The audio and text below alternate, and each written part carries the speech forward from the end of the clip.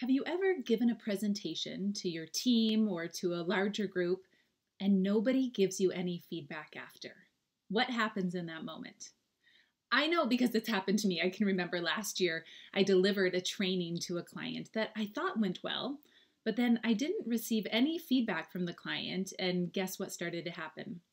My brain began to make up stories and assumptions that they weren't actually pleased with what I delivered.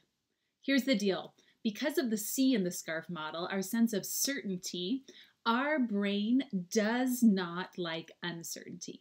Our brain desires to know what the future holds, to know what's expected of us, to know where we're headed as an organization. It wants to have certainty about situations. And when we have the beginning, the middle, and no end to a story, our brain does this thing where it closes the story loop for us. It loves the beginning, the middle, and the end of a story. And if we're missing that close to the story loop, the brain automatically closes the loop for us.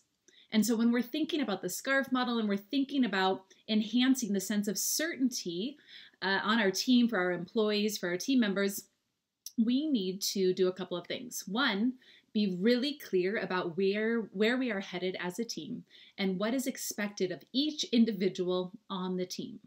We need to provide very clear, objective, measurable goals. Ideally, your team members get to come up with those first, but do they actually know what's expected of them and they know how they'll be evaluated?